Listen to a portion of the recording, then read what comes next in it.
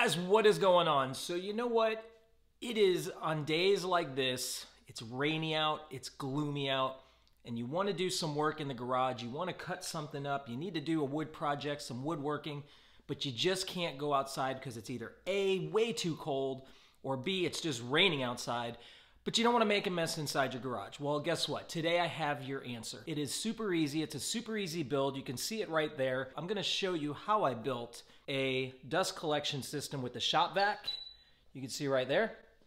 And a 32 gallon garbage can. And this whole setup cost me roughly 40 bucks. And you could probably do it for about 10 to $15, maybe even $20 cheaper than even what I built. You can use it for your planer, chop saw, router table, all sorts of applications, anything that you're using to cut wood, even a table saw.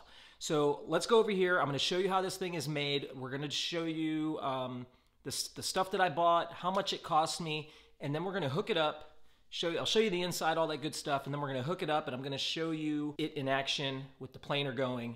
I love it. Stay tuned. Let me show you this thing. First of all, it all really started with this basically a little simple drawing on a piece of wood and uh, yeah, kind of the stuff. So yeah, but um, you can kind of build yours in any which way you want. You can use uh, hose, you can use how I did PVC. I used black PVC, which was a little bit more expensive than white PVC, so that's gonna cut down your cost maybe $5 or more. It could be $10 cheaper to use white PVC, but I kind of wanted to match everything up, so I opted for black PVC and black fittings. Now, I'm gonna bring you over there and we're gonna check this thing out. Okay, so this setup is a super easy build. This is the tool that we're gonna be using, and then behind me, you can see it right here, that is the shop vac, which is gonna create the vacuum for the dust collection. Basically what you wanna do is whatever unit you're using, that's gonna go in and mount to the side of your container the vacuum system is going to hook up to the top. So basically what's going to happen is the vacuum is going to suck the air up.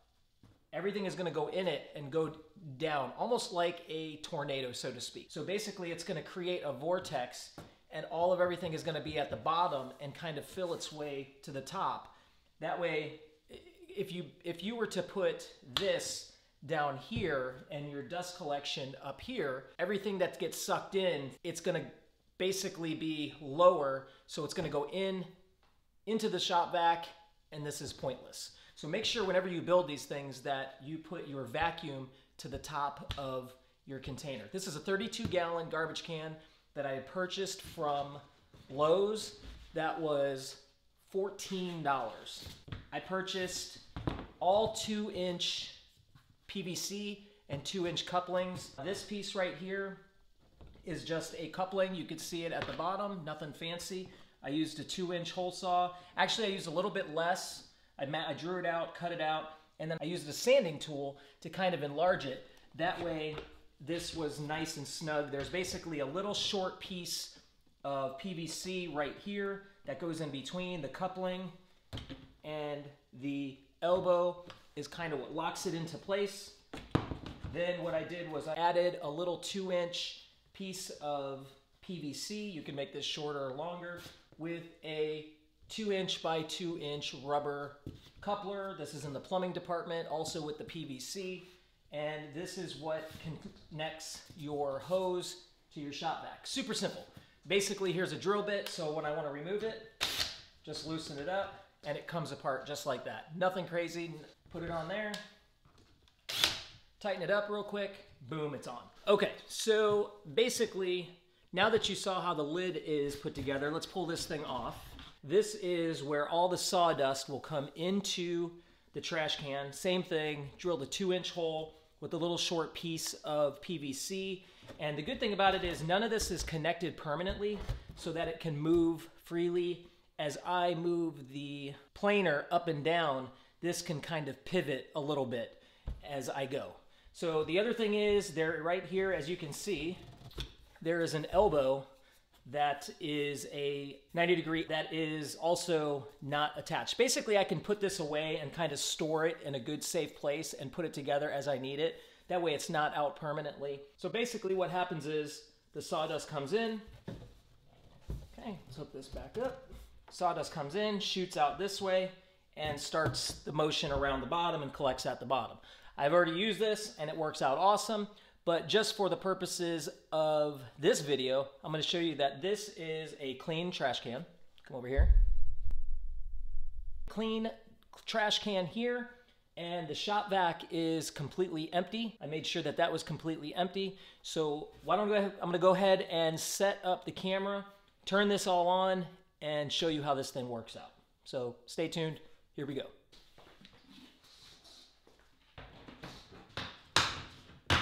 Before I do this, I'm going to tell you that you must use ear protection. Make sure that you use your safety goggles. Check these on there. There we go. How awesome are those? All right, so I got those on. And what we're going to do is we are going to plane a complete 2x4 down. This thing right here, we're going to get it down to paper thin, uh, maybe about a quarter of an inch. So, and then I'll show you the whole thing and we'll show you what how much it fills up. So, all right, let's do this.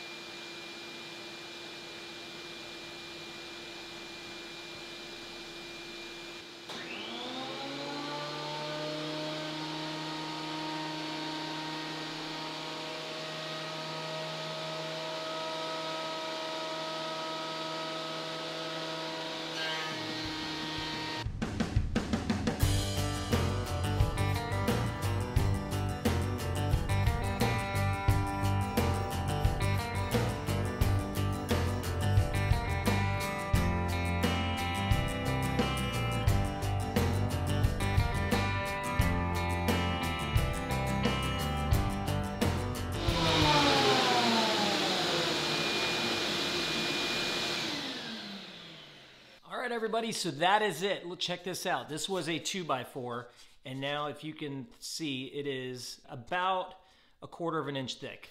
Uh, did a great job planing this down. A little bit of sniping, about two inches in, give or take. But the key to this video is that right there. So let's go over here, check this thing out. I'm gonna show you the inside and how much this thing caught. I'll show you what kickback, and to be honest with you, you're not gonna be mad it's not a big deal to clean up the mess that it actually created by planing this down. It's it's a heck of a lot better than working outside in the cold and trying to keep your you know work in the garage where it's nice and warm. So come on over here, let's check this thing out. It is awesome. You're gonna love it. You're gonna want to make one of these things yourself for about 40 bucks. So this is the sawdust. You could see how everything went down to the bottom and kind of created this force around. But this is all the sawdust from that one 2x4. This is everything. Can you imagine if you were doing this in your garage with without this thing? You would have an absolute mess on your hands. This this is an, a necessity for forty dollars. If you have a shop vac, you are ready to go. You don't even need a big shop vac. I think a, even a little shop vac will create enough vacuum. This garbage can, actually, if you see right here, has duct tape. This had so much force when I tested it out. I covered the, you know, the end of it just to see if it was sucking. My hand got stuck to it and it sucked in the garbage can and cracked it all the way down. So I used duct tape to because I didn't want to go get another garbage can. But this is it. Now what we're gonna do is let's go over to the shop vac and see how much is actually in the shop vac.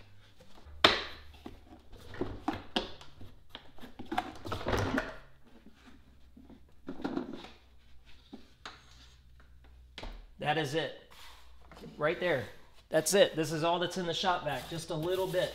And there was already some of this in here. So, I mean, less than a handful is in the actual, was in the shop vac. That was it. All right, everybody, so you can see that what is in that trash can would probably fill up this shop vac completely to the, to the top. That's how much just one little 2x4 would have, you know, planed off or your sawdust your sawdust, if you're just cutting, won't be as much, but if you're using it for a planer or a router table and stuff like that, it's a necessity because your shop vac just doesn't have enough capacity. You do not have to spend two, three, four hundred dollars on a vacuum system. This is the way to go. Super affordable, super cheap. All right, everybody, I hope you like this video. I hope this helped you out. You know, it was really fun to do. Really, I hope you like this video. If you wanna see more of these videos, give a thumbs up to this video, hit a like button, put a comment below.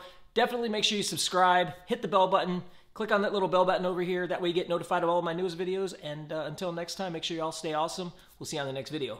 Bye.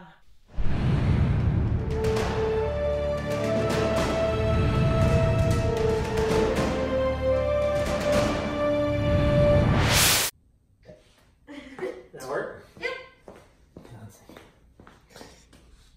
So come on, let's go over here and check this thing out. It's awesome. So for 40 bucks, you can build this yourself. You don't have to spend two, three, four hundred out. Oh my god. You do not have you do not have to spend